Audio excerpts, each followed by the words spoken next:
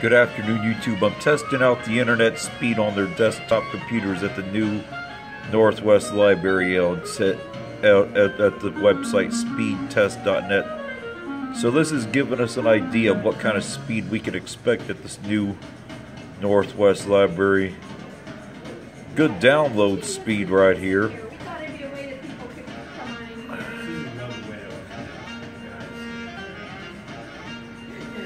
Upload speed is around uh, it's like topping out around 120 on the upload speed.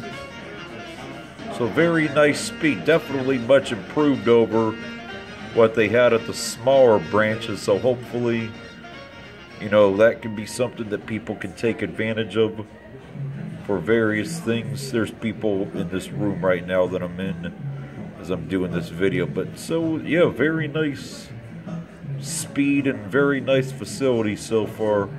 That's it for this one.